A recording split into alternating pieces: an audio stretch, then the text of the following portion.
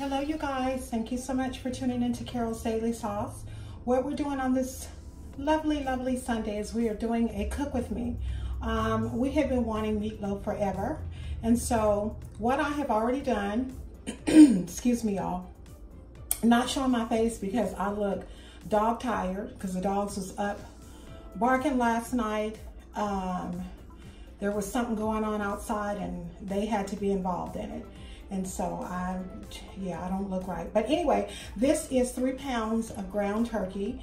Um, it has red onions in it. My husband prefers red onions, chopped up, and uh, two sticks of celery, as well as garlic, and it is ground turkey. And I seasoned it. Now your seasonings can be anything that you want. As we always know, if you've ever seen any of my Cook With Me's, I use seasoning salt, any brand of your choice. I use garlic powder, onion powder, and uh, pepper, black pepper. But you're gonna take two sticks of celery.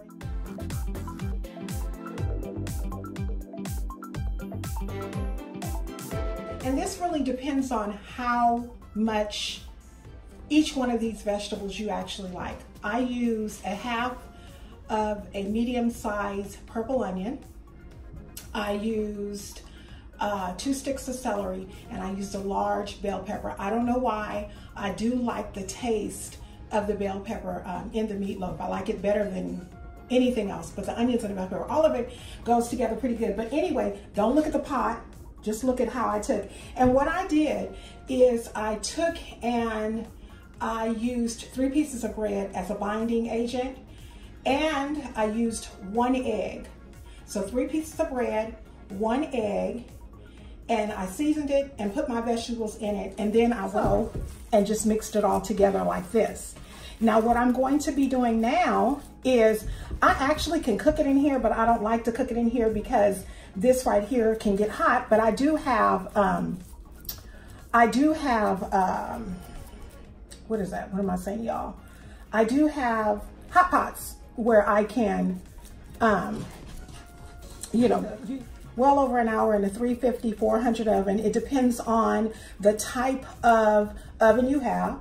Uh, electric ovens cook a little faster, so you have to uh, do according to your stove instructions. I don't know. But normally, see that nice little round egg shape type? I'm gonna cook it for about an gravy. So I'm gonna make a gravy from scratch and put that on top of it after it's done.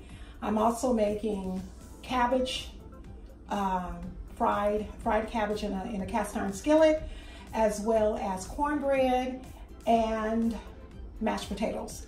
So we're gonna go ahead and go put this in the oven. Uh, there will be, okay you guys, I'm coming back because I changed the pan that I actually had it in and I reshaped it, but this is what we're gonna cook it in. So I'm gonna go ahead and put it in the oven in about, about 350, I'd say about 350. Um, no more than that because you don't want it to cook too much on the outside and not be cooked on the inside. We want it all to have the, um, you know, all the heat and everything to cook all together. Now, if it is your first time cooking a meatloaf, you gotta make sure that the meat is cooked all the way through. I know what meatloaf looks like when it's cooked. I've been cooking a long time, but I would suggest cooking it for at least an hour for this three. Okay, as you can see, I have a head of lettuce, um, say no lettuce, a head of cabbage. I have already cut it in half. You guys, we don't have big, big knives in this house. Um, so this is what I'm using, a serrated knife. But anyway, you cut it in half, and once you cut it in half, you're actually gonna cut it in um, uh, quarters because it's the easiest way to do it. So there's two, okay? Now, this part right here, this part right here, see that? Right here, I'll show you, I'm gonna cut it off and you'll be able to see it a little more.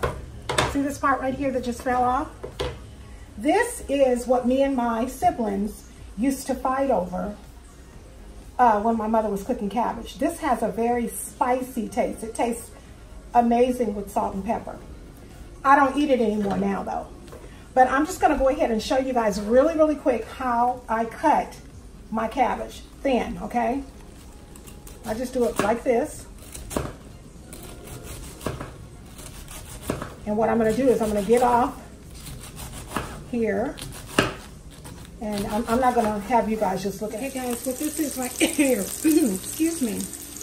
This is the bacon and onions. I want to do my phone right over the top of it. See that? The bacon and onions that we're using, we're uh, cooking to put our cabbage in. Bacon and onions. And what I don't want to do, you guys, I don't want to cook the bacon until it's crispy. You're not supposed to do that.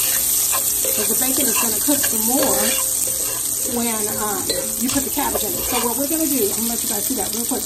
What we're going to do is we're going to turn this off for right now and I'm going to continue to cut up my cabbage.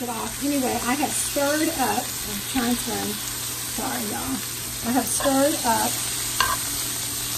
the cabbage. And what I'm doing is just trying to cook this down, you guys. I haven't put no seasoning on it, but you can still see, you see the um, bacon in it. Now let me tell you guys a secret. When I used to make cabbage, somebody that was dating years ago loved cabbage. But they didn't like my cabbage. And they kept saying, it's too soggy. The seasoning in it is really, really good, but it's just too soggy. And I was like, well, I don't know. I don't know what I'm doing wrong. Let me tell y'all something. You do not have to put water in cabbage. Y'all, that's what I was doing wrong. Cabbage makes its own water. I'm reaching over to get the rest of this cabbage, y'all. And I have not, still have not, sorry y'all, still have not put any seasoning in it.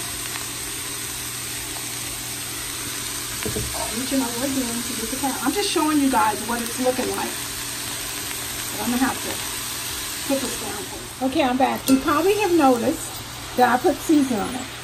See that? I've got seasoning on it. I've got a piece of bouillon. I believe this is a beef one and I'm just going to continue to stir it up so it can all get mixed up.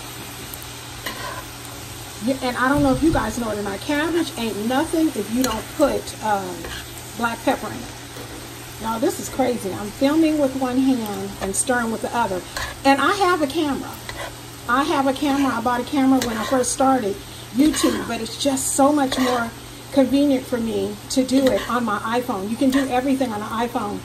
And um, I film on it. And I can do that because this is Carol's Daily Sauce. This is my channel.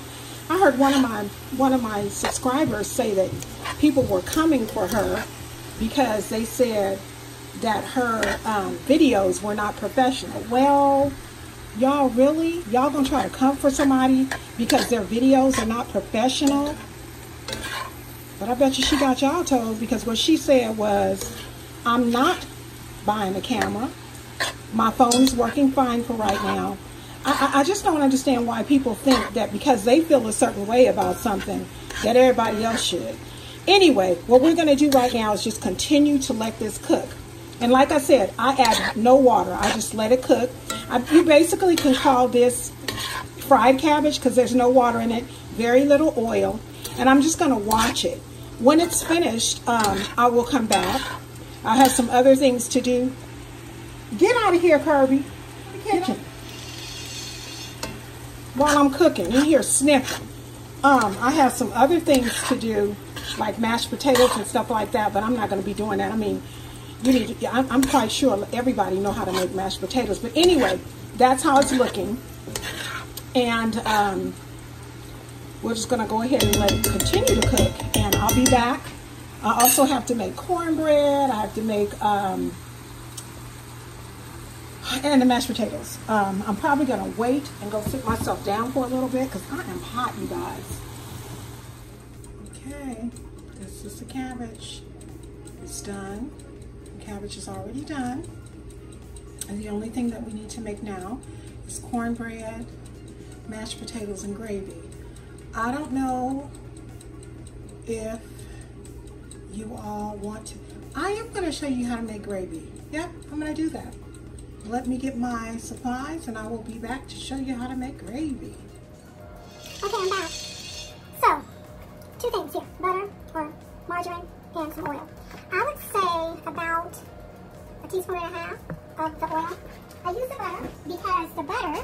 Gives it a good flavor.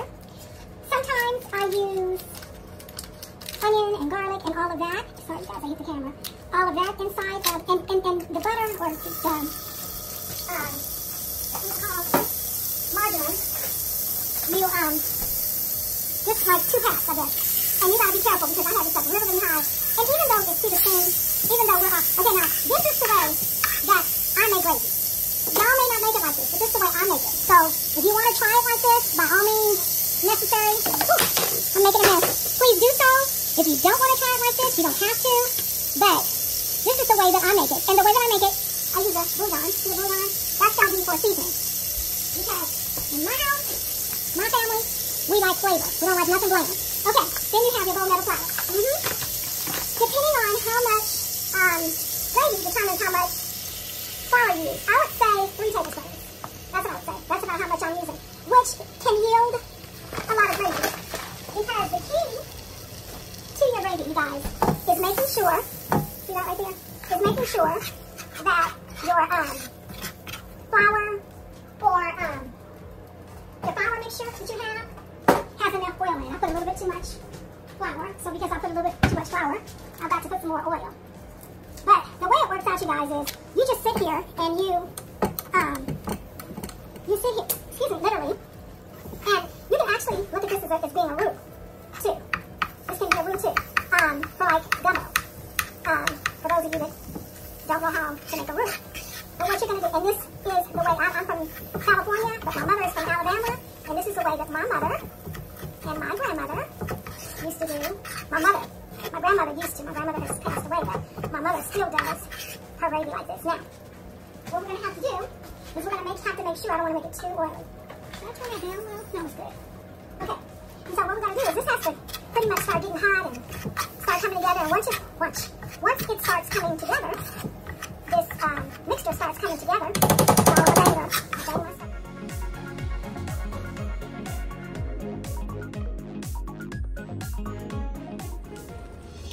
Stand back and we, that's how that is looking right there. That's gravy and that's mashed potatoes.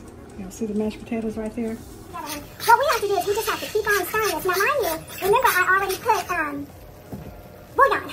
I put a bouillon into seasoning. But let me tell you something. Um, this right here has to have a good amount. Now, my meatloaf is seasoned. My mashed potatoes are seasoned. Um, because I am a seasoned, sorry y'all, danger. I dangle everything. Um, I'm a seasoned queen. I think this will fit. I, I season everything. So we got, we got mashed potatoes. We have cabbage right here. So the only thing left is doing this. And I'm got to get it dark because I like it darker, a little bit darker than what it is. So I've got to let it sit here and just continue to get dark. I made enough gravy to put on top of the meatloaf and to have to go on top of the mashed potatoes. Now the meatloaf, I'm going to show you guys once it finishes.